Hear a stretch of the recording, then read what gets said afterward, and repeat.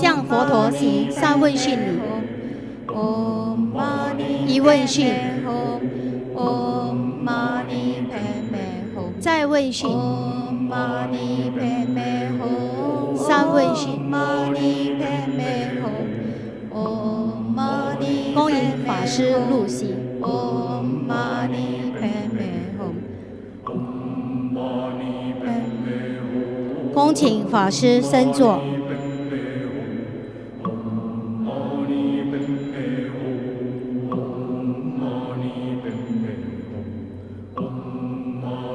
叭咪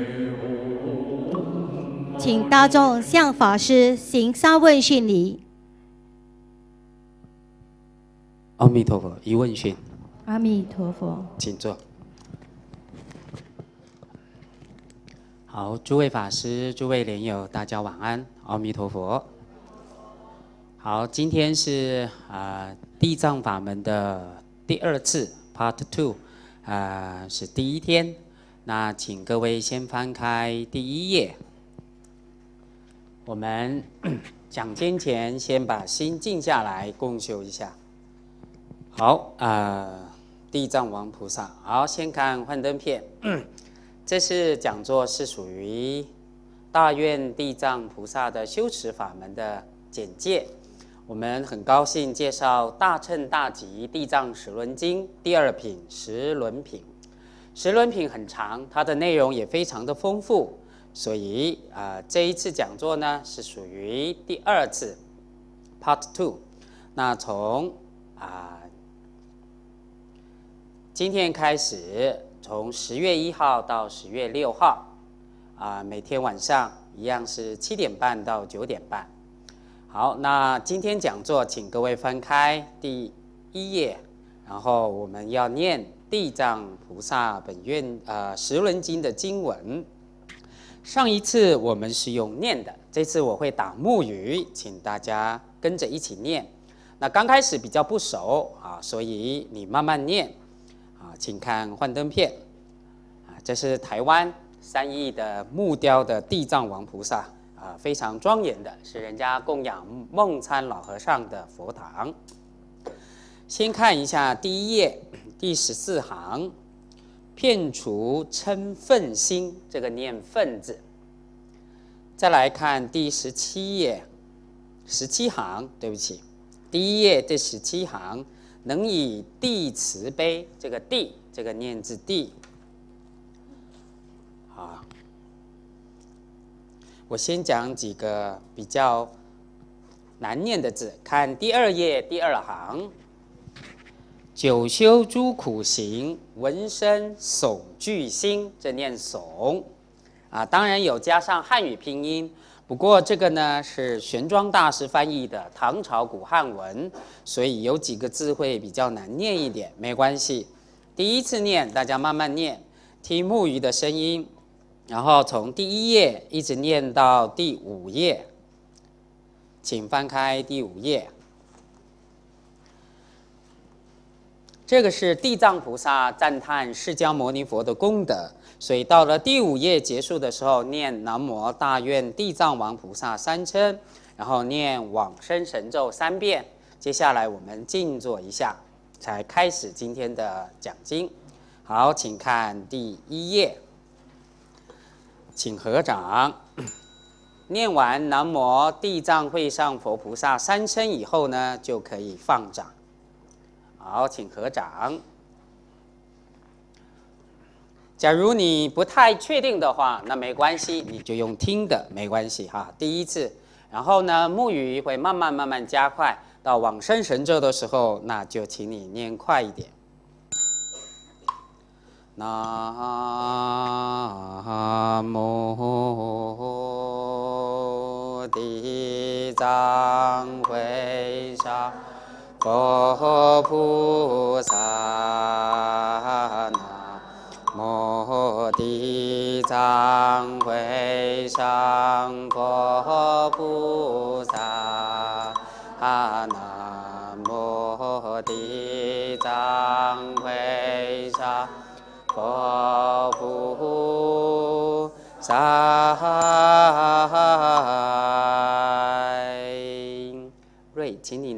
风开大一点点好不好？我觉得很小声，这样，哎，我会念得很辛苦，会很快往生的。好，开大一点点就可以。两足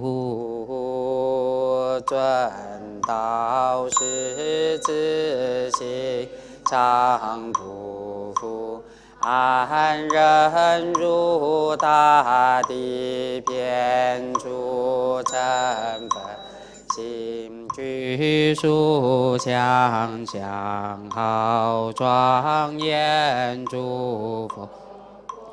能以地慈悲充满一切土，永绝诸海望如是善安住，舍诸清净国度，让诸众生本愿社会。成熟而其坚固真经，就修诸苦心，就修诸苦心，闻声诵句心，修诸世界人寂静静定慧。成功是无量佛菩萨身，积集诸有情即可病死者，本为他有情之舍多生。本为正法故舍多故学彼，其舍自含乐悲悯诸有情，转为诸有情清修断过往善故于六根。恒愿离诸欲，观有为无常，故空无我心。增长戒安乃为因，故现于六根，永断诸贪欲。彼无欲有情，皆常安住大悲，虽得生菩提而不舍本，愿虽见诸有情，彼皆在中。随其清净净，勇猛而拔。法令勤修世界，人定静般若，如母育一子，慈心而养育，本欲有情内常住不故速真菩提度脱无量众，本修菩提心，无不为众生故今欲有情，不舍于六度，悉常于末世救无上菩。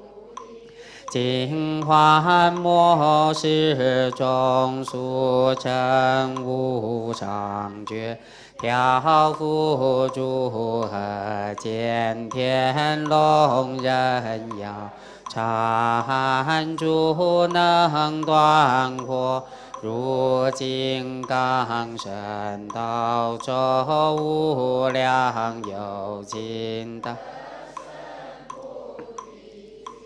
真因功道受最上良福田，世尊无等虑不负诸群。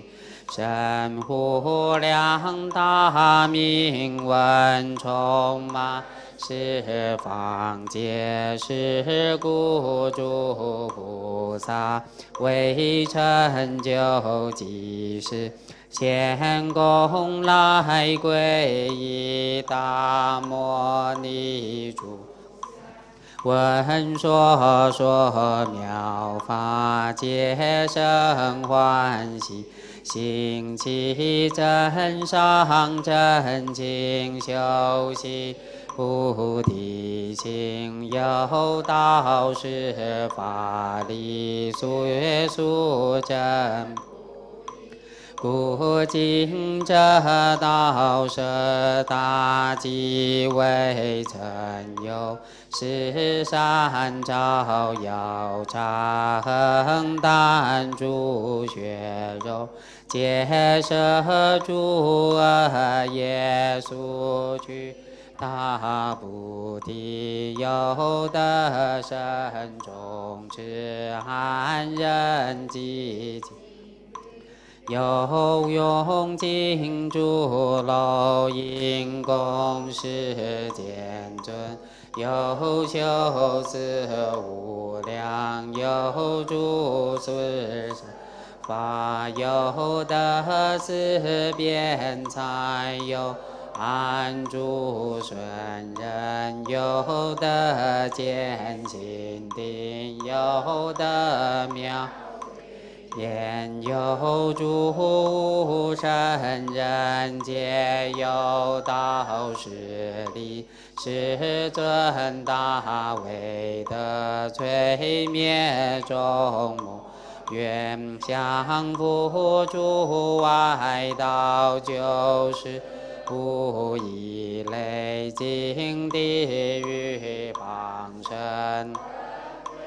非殿去故真只有金仙贵尊主恰尽这悉道宾，疾病寂静解度迷失真道，亡命诸有情诸烦恼狂乱。皆安寂灭道，故我设诸愿，尊诸遍诸佛土，现在诸道师，现光赞世尊，闻者皆来。自我闻遍知海真实的，度脱诸有情心欢喜经历，真修无量福尽的力尊主，愿无量劫中常修多功。仰我今学世尊法如是事，当于此会土得无上菩提。南无大愿地藏王菩萨，南无大愿地藏王菩萨。南无大愿地藏王菩萨，南无阿弥陀佛耶多他揭多，多地耶他弥利多佛比阿弥利多悉达，利多毗迦兰帝阿弥利多毗迦兰多揭弥尼揭揭那智。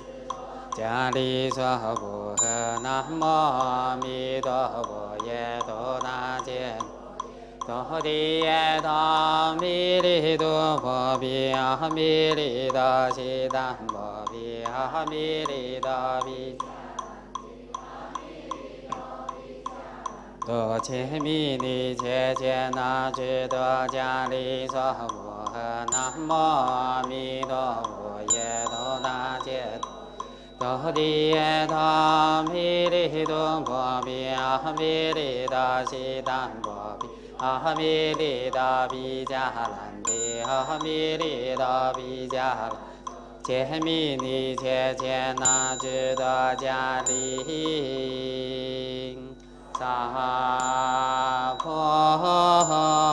诃。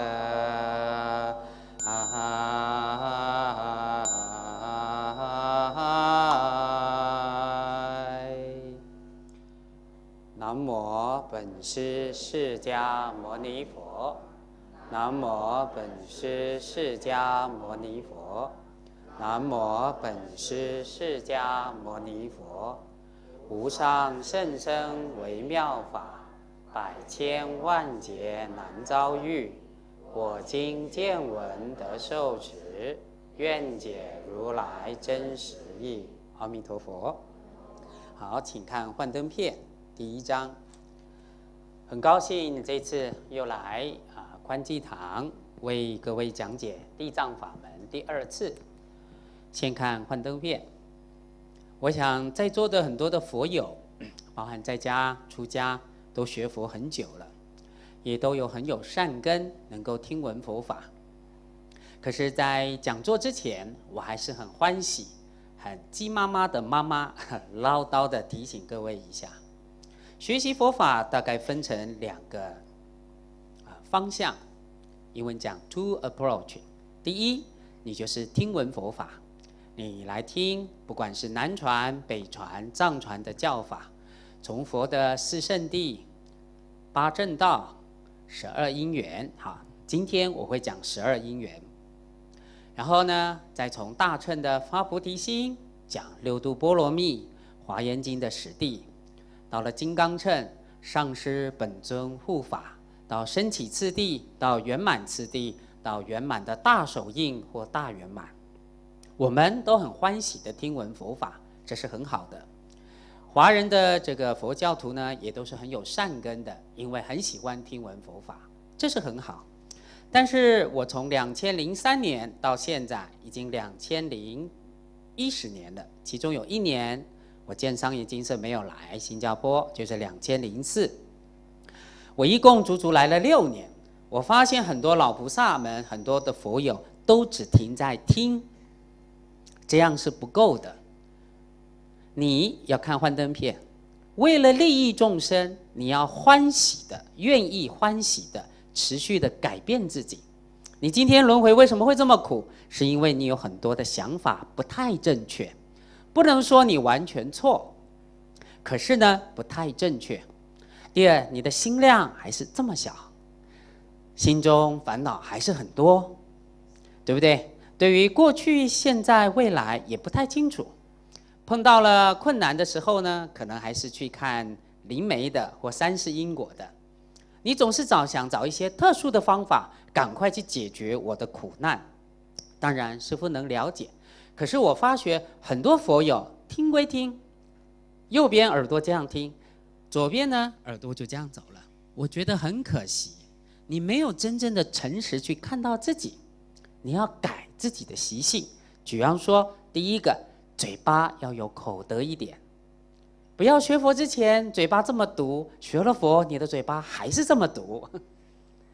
没有学佛之前呢，对老公跟老婆还是脆脆念、脆脆念，结果学佛十年以后还是脆脆念，还更会念。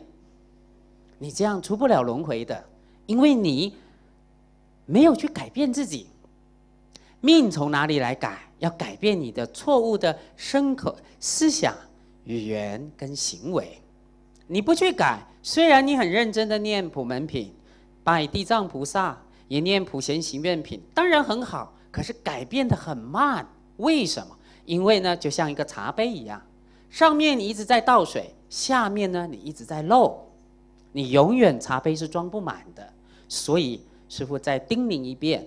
听地藏法门要从十善业道开始起，地藏菩萨不是只有你想到七月只有啊渡鬼而已，超度你的祖先。地藏菩萨是希望你真正学习佛法，要改变自己，改变自己，你才会去改变你的人生。这是我第一个先要说的。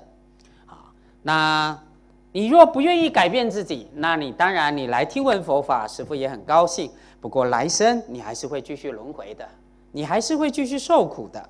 为什么呢？因为你没有转动你的业力，这是我要说的第一个。那转动业力的方法有很多，其中点灯是一个方式，其中朝圣也是一个方式。为什么呢？因为圣地有佛菩萨的功德。好，那我发现新加坡的佛友很有趣，东西南北区的佛友呢，都呃不一定会联络。比如说我在这里讲经，那这个秋竹港的佛友可能就不会来了，对不对？然后呢，我在其他讲经呢，可能呢，啊，这个 Woodland 靠近呢新加坡，或是这个啊 Singapore Zoo，就是动物园的莲友也不会来，所以很抱歉啊，在座我知道有一半的莲友看过这部片《峨眉山》，啊，可是有一半的老菩萨，也就是说。啊，宽纪念佛堂讲潮州话的老菩萨是重新没有看过这一部片的，所以请你有耐心一点，是会正式放《峨眉山》给各位看一下。好，请看，普贤菩萨在《华严经》里称为大横普贤王菩萨。我苦口婆心的劝各位念普贤行愿品，因为他是《华严经》的经中之王。普贤行愿品讲：念念相续，无有间断；身语意业，无有疲厌。你为了利益众生，你真的从早到晚念念都不间断过吗？三才童子五十三参，第一参是大智文殊菩萨，最后是普贤菩萨。普贤菩萨告诉善财童子说：“你想要快速成佛，你就必须呢学十大愿王。”请看，今天介绍的是乐山大佛、峨眉山，还有大竹石窟。乐山大佛是雕弥勒菩萨，它在三条江的汇流之处，在四珠山省成都的地方。一九九六年，乐山大佛被列为世界文化与自然的重要遗产。乐山大佛是一尊弥勒菩萨的坐像，全世界最大的石雕，有七十一米高。所以你可以看到，古人大乘佛法里面的功德力跟愿心是很大。佛呢，从头到脚底都有很好的排水系统，所以它才能够保留到一直到现在，经过一千多年，而且它经过九十年，有三代的出家人而把这座山建好。山是一座佛，佛是一座山。在西元七百一十三年，海通和尚见到呢这三条江常常发生水灾，死掉了很多人，所以他就发起大悲愿心来募款，募了二十多年。可是当时地方的官非常的残忍，来勒索他，他把自己的眼睛挖了出来，说：“我绝对没有贪众生一毛钱。”我也死也不会给你一毛钱的，所以古人的这个和尚啊是很有气度的，不受任何的恶势力威胁。后来他过世以后，经过呢节度使还有其他的法师，历经了九十年仰仗佛力，这杆乐山大佛才建好。从此以后呢，这个地方就没有水灾，而且建了凌云寺，在凌云山上，一直到现在呢。所谓的所有的信徒啊，香客呢都络绎不断，所以古人都没有为任何世俗的利益而利益众生在做努力。当然，中国人有很多的文人雅客经过的时候都会提书法或文字，还有国画，所以为乐山大佛这个地方呢带来很多的世界文化资源。参访的游客可以沿着石壁旁边的栈道，栈道就是以前呢当兵的时候呢，在墙壁上打一个桩，他就可以爬上山的。那我很高兴，两千零四跟两千零五，我带着学生去潮山，在佛的足下面，我们觉得其实人生是很渺小的。你也可以搭着游轮由下而往上看到大佛，光光这个呢，佛前的铜柱的顶啊，就有三米这么高。所以中国人讲“仰之弥高，望之弥坚”，所以弥勒菩萨就护念着一切所有的众生。所以弥勒法门在中国是非常弘扬的，跟阿弥陀佛法门一样是非常弘扬的。第二段，请看峨眉山，啊，普贤菩萨。那普贤菩萨很高兴，谢谢新加坡净宗学会提供的普贤十大愿忏悔业障愿的音乐。进了山门，第一个就是报国寺。报国寺在十元十六世纪的时候，它是儒释道三家在一起的，叫慧宗塔。峨眉山本身是道士修行的地方，后来呢，普贤菩萨的视线，然后就变成佛教圣地。你可以看到大横普贤王菩萨，在中国人里面呢，啊是非常有缘，跟文殊普贤、观音、地藏四大名山，所以第一个。成为报国寺八大名寺之一。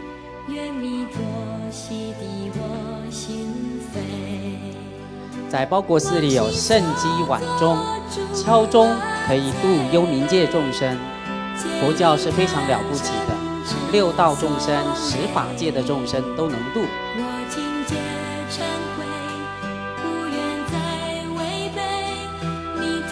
这是我们商业金社的学生。啊这是我带他们，你想想看，生命其实很短。你想想看，我们人在不珍惜光阴，我们真正去圣地的机会有多少呢？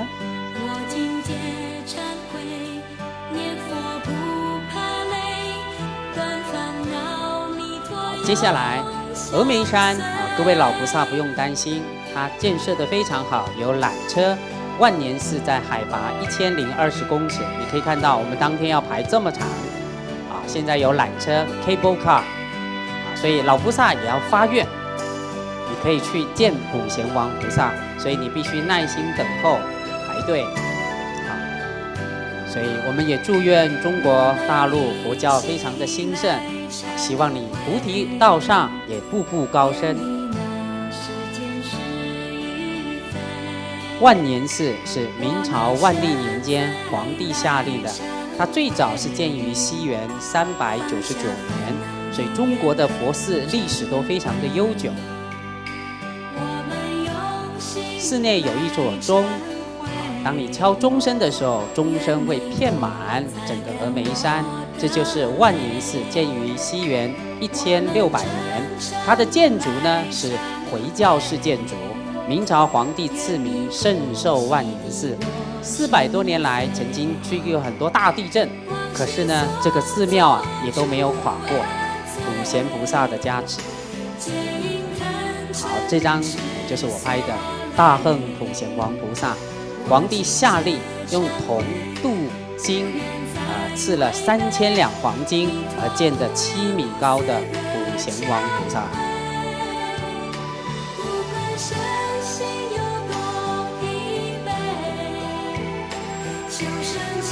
普贤菩萨头上戴五方佛的宝冠，代表有五方佛的智慧；而大象代表六牙白象，代表六度波罗蜜。所以，各位新加坡的佛友，你去过很多的国家，是你更应该发愿，今生去过菩提迦耶，应该发愿去中国大陆四大名山，草理佛教的圣地。这是敲钟度幽冥界众生。有世界有很多宗教，但真正能够度幽冥界众生的，唯有佛教最为殊胜。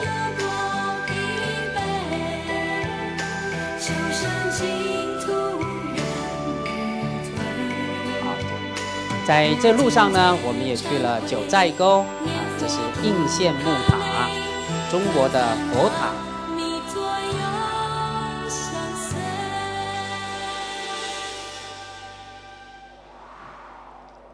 这是九寨沟，很漂亮哈。接下来峨眉山呢，你可以搭缆车之外，也可以开车，也可以用徒步的走。走的话，当然啊，体力要非常的好。好，这里接引殿，海拔两千五百四十公尺，它是一段一段的缆车哈。你会发现，峨眉山文人很喜欢，道士也喜欢。可是为什么这边呢，像如梦如幻一般的美景？待会会看到，呃，峨眉云海，不是峨眉金顶啊。有缆车往下看的时候，你就会觉得山在虚无缥缈间。你觉得呢？没有一样是真的。从缆车上面可以看到最高的金顶，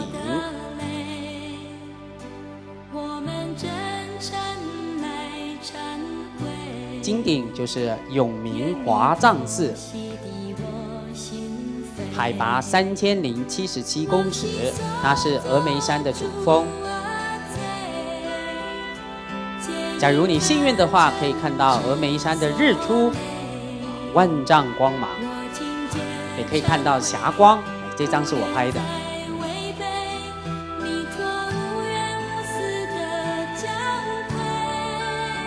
当然，你看到我们的服装，你就会知道，越往山上爬，三千多股子是非常冷的，所以各位老菩萨也要慢慢、慢、慢慢的保留你的体力。好，那两千零六年，这个我并没有看到，哎，十方普贤圣像正式开光。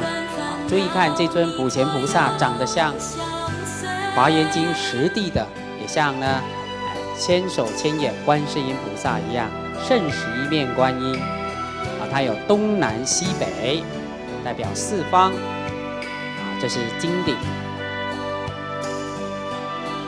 夕阳余晖中的金顶。是普贤菩萨正式开光的时候，也象征着呢，佛法中国大陆呢。在历史文化大革命之后，那佛法又重新开始兴盛了。冬天夕阳下的金顶是很美的。普贤菩萨骑六牙白象，代表六度波罗蜜。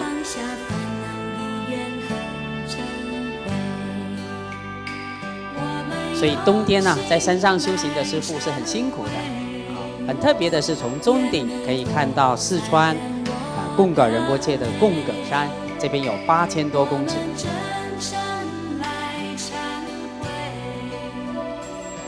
如果你幸运的话呢，也会看到重重无尽的普贤云海。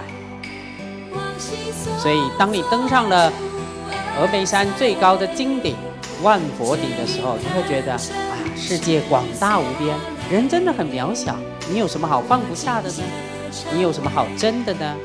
上金顶要搭这个单轨列车 （shuttle bus）。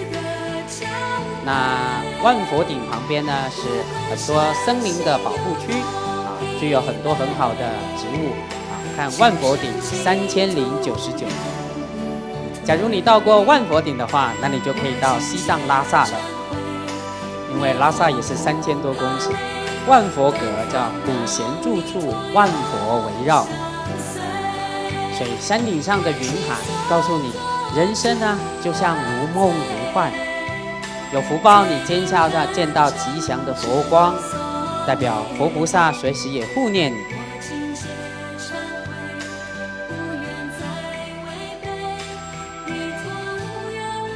好，这过程当中，我们也到了应县木塔。中国的佛塔是用这种木雕式的五层楼，这个就是悬空寺。啊吊在这个墙壁旁边的，好，这是九寨沟。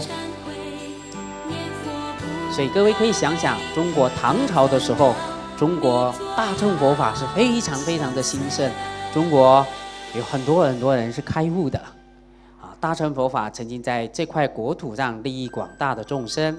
好，请看第三，重庆大足石窟，建于西元前一千三百多年。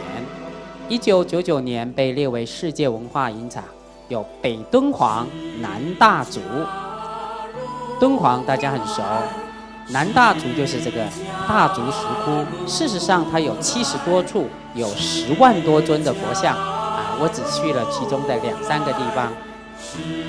这就是释迦牟尼佛的涅盘像。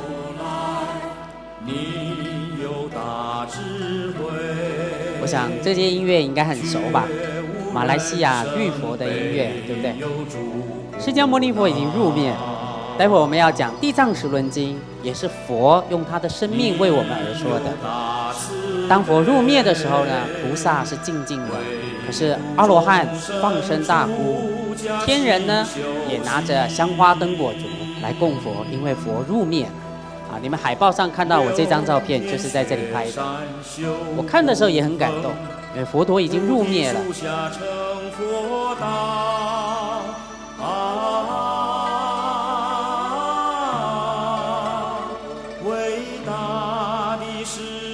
佛教了无量的法门，其中华严三圣就是心中之王毗卢遮那佛，左边是普贤菩萨。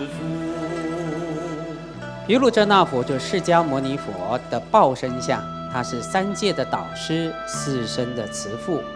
右手边是文殊师利菩萨，所以你可以看到古来的雕像，这个大概有两三层楼这么高，看他的袖子。他就以力学角度来讲，这个佛像就不会垮下来。所以中国大乘佛法是真的很殊胜的。你若认真修行的话，你是可以开悟而成佛的。刚才看到是华严旁边的舍利塔，这边是一千零七只手的真正的千手千眼观世音菩萨，代表诸佛的大悲心。好，今天我们就会讲到这个六道轮回从哪来？六道轮回你要怎么出轮回呢？要先去改你的心啊！你若不改你的心，你还是很难出轮回的。看着六道轮回里面的正中间是有一尊佛像，代表狗也有佛性，蟑螂也有佛性。释迦牟尼佛是奉现啊显现威猛的。慧基金刚，观世音菩萨变愤怒的马头明王，大势至菩萨变为愤怒的金刚手菩萨。所以诸佛菩萨他除了显现之外，慈悲的相啊，他也现愤怒相。好，这个大足石窟也是道教文化的这个呃 resources，就是资源处。所以你也会可以看到，中国自古儒释道三家。都是在一起的，相互影响。这个是父母恩重难报经的壁画。学佛从哪里？先从五戒十善、孝顺父母开始。这是禅宗的木牛图。所以古人为什么要花这么多的钱呢？去刻壁画呢？它是变文图，看地藏王菩萨。这是我们讲地藏菩萨，跟你一般看到地藏菩萨的造型是不一样，很像观世音菩萨。那地藏菩萨的头顶左右各有十尊佛，代表十方佛。左右下面有十殿阎罗王，这是道教跟佛教结合以后才有的。所以地狱变文图里面有很多。警惕我们人生的故事。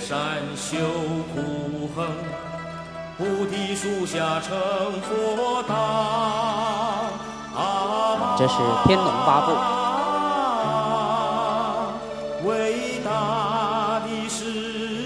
在所有释迦牟尼佛教的教法里面，世尊指出最殊胜的西方极乐净土。世尊特别赞叹阿弥陀佛不可思议的功德。这是观世音菩萨，你注意看他的脸是唐朝大丈夫像，跟我们现在看到的女众像是不一样。这是大势至菩萨。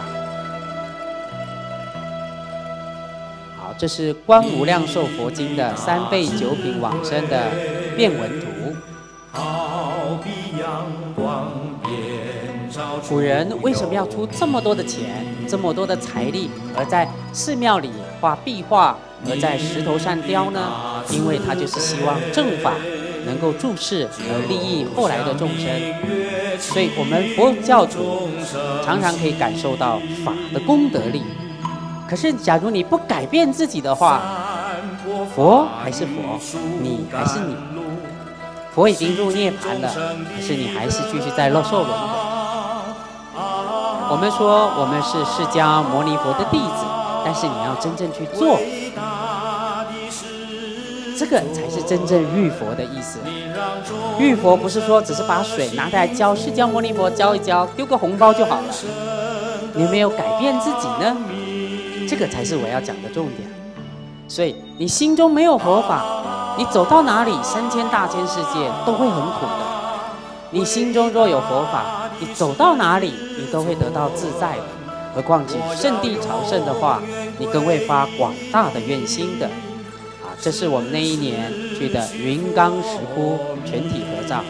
各位看到图上的照片，这上面的一半的人呢，已经不见了。什么叫不见了呢？有些人呢，到别的地方学佛法。有些人到其他国家去出差了，有些人呢也退了道心，变成基督徒，不学佛了。所以，佛法是很珍贵的。佛法讲到最后还是要靠自己精进。啊，所以那这部短片在这个礼拜我讲完经以后，我就会上网。你可以直接从商业金色的网络上可以当落。我们的心念就像瀑布一样，永远无法控制。若没有释迦牟尼佛来人间说佛法，真的我们永远都在黑暗当中的。若没有释迦牟尼佛指出一个西方极乐净土，众生要一生出轮回啊，很难很难很难的。你要经过无量无边阿僧祇劫。请问无量劫以后你在哪里呢？所以作为佛弟子，要发愿护持佛法，学习佛法。真正你改变你的身口意，你就会去感动别人。否则你想想看，慈悲谁不会讲呢？大家都会讲，对不对？我们待会看经文，地藏菩萨的愿心也是广大无边的。地藏菩萨对你所有的生病、工作、家人往生，一切都满你的愿。可是呢，我们生生世世都在轮回啊。那这个是今天是第一天，所以我放这个片。那过来呢，会两天放一次给各位看啊。有些老菩萨还没有看过，也希望你发愿，能够去菩提迦耶，也去呢中国大陆。文殊、普贤、观音、地藏，甚至还有加上弥勒菩萨的道场。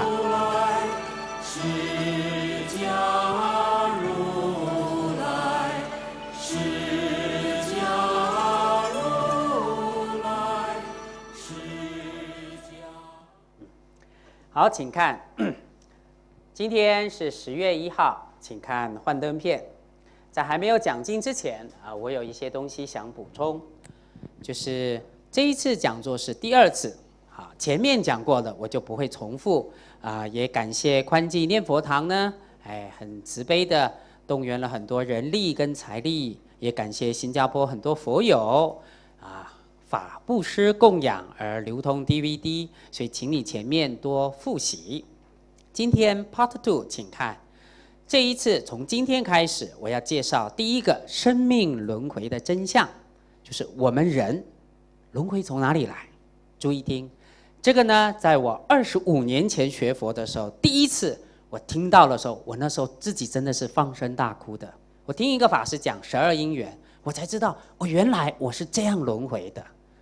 所以，请你专心听，待会经文呢，哎，在第二十六月的地方就会讲到这个主题。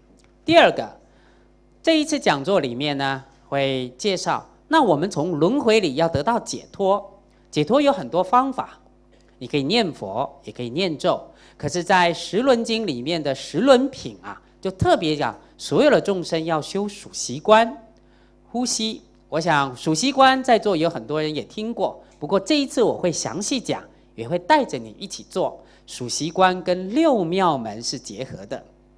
第三个，上一次有一个佛友曾经问师父。什么叫做延命地藏王菩萨？这个问题问得很好，所以在这次讲座里面呢，啊，我会在相关的经文里面补充，怎么样保持健康长寿。在座宽济念佛堂很多老菩萨，好，我先调查一下，看看现在在座的，哎，超过五十岁以上的，五十岁的请举手。好，对，五十岁以上的他举手啊。好，六十岁以上的请举手。好，七十岁以上的请举手。好，有人举一半这样子，三十五。好，好，八十岁以上的请举手。好，你看啊，所以现在的科学其实人是至少可以活到八十岁的，甚至呢，在日本长寿村里面呢调查，很多人都活到一百岁。那为什么有些人可以活到一百岁，有些人五十岁就过世了呢？因为每个人的业跟福报不一样。所以讲实话，其实每一个老菩萨都怕死的，真的人都怕死。你不要认为说不可能，为什么呢？因为死的时候你都是别人，所以你感觉不一样。那假如今天你现在呢，突然不幸被医生检到，检查说，哎呀，你得了癌症了，结果呢，你一定会明天就来会客，师傅怎么办？师傅，你能为我做些什么？人都是这样的，临时抱佛脚。知道吗？其实死亡是并不可怕，问题是你平常并没有羞耻，你都是在碰到困难的时候来求师傅。其实有时候有效，有时候真的没有效。为什么呢？因为你的业已经尽了。所以换句话说，长寿有长寿的道理。长寿有长寿的方法，所以请你要专心听。我不知道哪一天会讲到，会讲延命地藏菩萨的法门，就会保持长寿的方法，会从身体、心理，还有从你的修行三个角度去介绍。这是这一次我要特别加上去的。第四个就会介绍其他相关的图像演变。上一次我介绍了印度的地藏菩萨，部分的中国，还有部分的日本。那接下来，我这一次也会介绍在经文相关的地方，会参差地藏菩萨不同的演变，一直到西藏佛教也有修地藏菩萨，还有相关的参考资料。好，这是我这次要说的。好，先看地藏地藏，谢谢新加坡净明佛学社提供我这张照片，看地藏菩萨名号，地藏地藏，地是很深的含义，叫做。安忍不动，犹如大地。你的心要常常不动。你想想看，我们从早到晚，心都很容易浮动。甚至呢，从早到晚呢，老公跟老婆一句话吵你呢，讲你呢，你就不高兴，你就非常生气。甚至呢，到了公司，老板呢，老板讲你一句呢，说你的 project 做的不太好，你说 How come I already done my best？你看，你啊，人家讲你一句，你就发脾气了。其实我们这个世界的众生呢，贪嗔痴是很容易起的，所以你应该常常多念地藏圣号跟观音圣号。当然，念阿弥陀佛也可以。把你要有一个方法，把你的心调伏，叫安忍不动。你看，如如不动，你的心常常都在这，像水一样都会动，对不对？哎，买了马票没有中呢，也也如如还是又动了。对不对？中了奖的时候呢，太高兴了，不敢相信，也是心动了。所以以前禅宗常常讲，我们的心像什么？千江有水千江月。修行的人是如如不动的，不动不是指身体不动，而是说身体碰到任何的境界，人家骂我也好，我也笑笑；人家赞叹我也好，我也笑笑。你的心不会受外境干扰，这个并不容易。第二个。地藏的藏，藏是包藏，左边叫净律深密，犹如密藏。藏可以的读包藏，也可以的读宝藏 （treasure）。它净律深密，就是说，其实地藏菩萨的心啊，每天早上都很宁静的。在《地藏经》或在《十轮经》里面讲，地藏菩萨哈，按照人间的时间，每天一大早的时候，早上呢三四点，三点到五点之间，他就入定了。那时候你还没有起身呢，你还在这样子转过来转过去。今天不要上班，OK 啦，对不对？Come on quickly，这样子呢，那是地藏菩萨就在看你的念头了。他可以观一切三千大千世界以及无量无边世界众生，他的念头跟因缘果报，然后想我今天怎么去帮助众生。所以在这里，师父真诚的给各位，假如你是虔诚的佛教徒。你家里有佛堂的话，你起码要出门之前要先顶礼三拜，点一个香，然后再出去。或者早上先点香，然后呢，让它慢慢烧完，然后再出去。希望你啊，有个 Have a nice day，对不对？你的心要很宁静的出门，而不要呢都是匆匆忙忙的出门。现在很多佛友都是这样，匆匆忙忙的出门，一出门的时候就手指就被夹到了。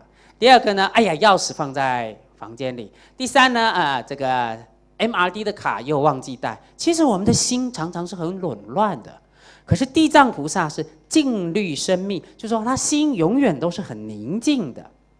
宁静的心，你才可以看到事实的真相；宁静的心，你才会知道怎么去帮助别人；宁静的心，你才知道什么是对的，什么是不对的。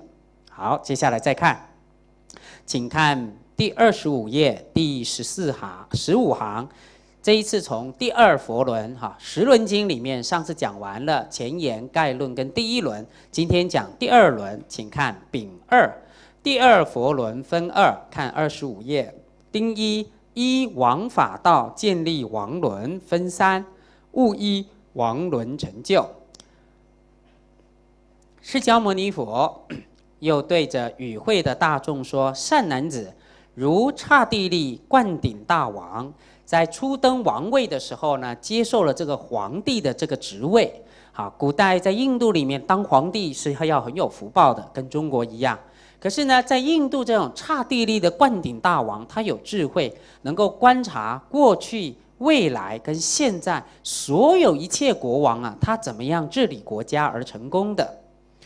印度的人还要当国王，是要很大的福报。在中国也是一样，当了帝王呢，你要读很多很多的书，要读中国的历史，你才知道以前，比如说唐朝、汉朝、宋朝历代的国王怎么样去治理人民，啊，教化老百姓。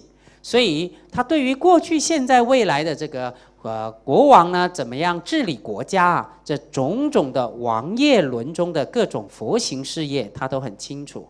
请看下面，也看幻灯片。以善观察因果报智，以善巧方便观察一切众生的因缘果报。各位都很有福报，其实各位是真的很有福报的人。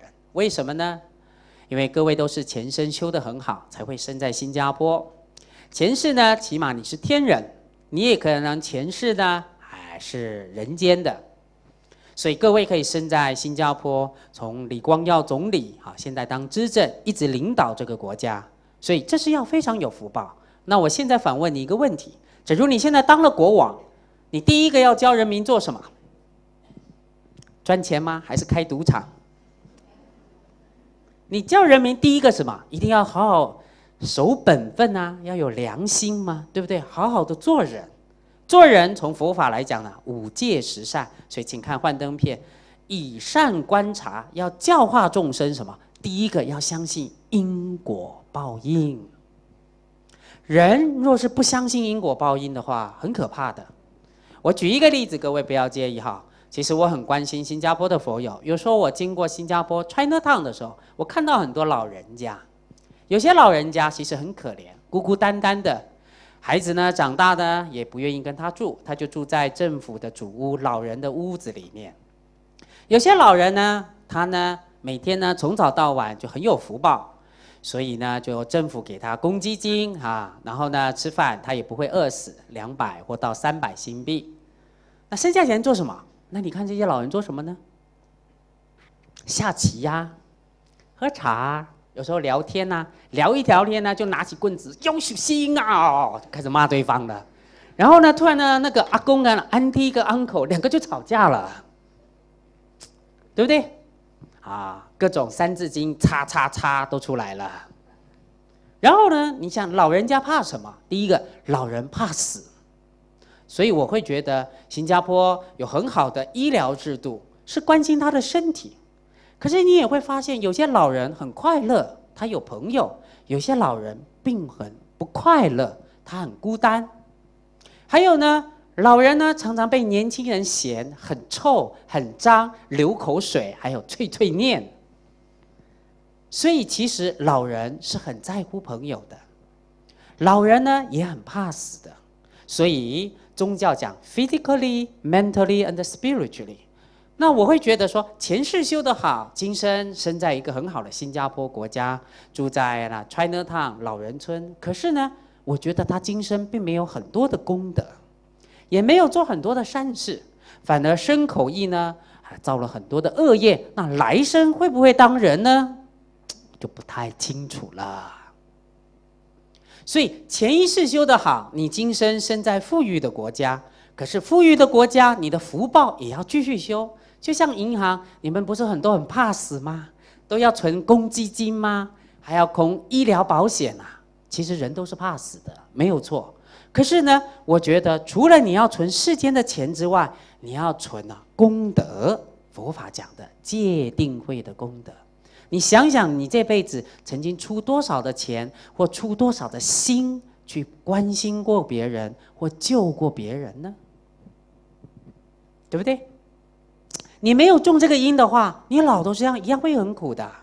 请问，你说老一定都很好吗？有些人老很快乐，可是有些人老啊是很痛苦的。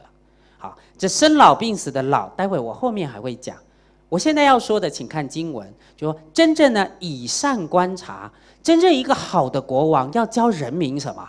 存好心，说好话，做好事之前呐，要先教他相信因果报应。假如人不相信因果报应，你再怎么聪明，你会做出很多很可怕的事情。你看全世界现在的啊，所谓所谓的制造武器的人，或者呢？网络上的骇客入侵，或是做很多违法的事情，都是绝顶聪明的人。为什么？他很聪明，但是他的心不是很好，他也不相信因果报应，所以这是很可怕的。在十轮经里面呢，十轮品里面就告诉你，第一个要教众生，你要教你的孩子，要教自己，要相信什么？善有善报，恶有恶报，不是不报，时候未到。这种因果报应啊，是很重要的。请看下面的经文：帝王灌顶大王随他所应的教导一切的众生，包含他旁边的臣子，还有他的幕僚，乃至于全国的人民，不管是聪明的人或愚痴的人，都要告诉他要修三种业轮，而且修之前呢，都要先相信因果报应。好，接下来由此三种业轮。就会率领众生一起建立这个国家，一起奉献这个社会，因此昼夜能够受用他一切所有的功德，所有的种种啊，你买的很欢喜的家具啊，或是各种的叫适宜之具，所以所有食衣住行的条件。举一个例子，好，新加坡各位都很喜欢买东西到 OG Building，对不对？哈，啊，都会听大血拼，对不对？那在 China Town 也有裕华国货啊，我也去看过，它有很多中国来的家具，明清式家具。那你会发现，当你有一个家，你都很希望把家里布置的舒舒服服的，对不对？为什么？因为你觉得安全呐，你觉得欢喜啊，从早到晚呢，对不对？啊，你去做工，回到家里，你会觉得家是人生的避风港口，家是最安稳的地方，对不对？家是你让你休息的地方。假如你常常搬家，那很苦的，对不对？纵使你常常出国，出国去世界各个国家玩，每天 check in check out Check in check out。刚开始你会觉得不错，可是到老的时候啊，你就会发现，哎呀，行李越来越重，check in check out，can I no check？干脆呢，还是回家吧。所以你走遍三千大千世界去旅行，你还是会觉得家是舒服的。为什么？因为家你会有安定感。好，家为什么有安定感呢？适意之具就是家里有拥有你自己所有的东西，你啊衣服放哪里，你的电视放哪里，你的电脑放哪里，你的书放哪里，你都会很欢喜，因为你觉得都很熟悉，所以你才会觉得很安全。所以注意听，希望各位年轻人不要动不动的轻易送你的爸爸妈妈进老人院，其实那是不得已的，老人院很残忍的。很孤独的，很寂寞的。虽然我也知道新加坡的福友呢，很年轻人做工很辛苦，就说：“哎呀，师傅，对对，我们从早到晚都累得要死了，我只好出钱呢，把他送到老人院。”啊，讲一个故事给你们听。从前有一个小孩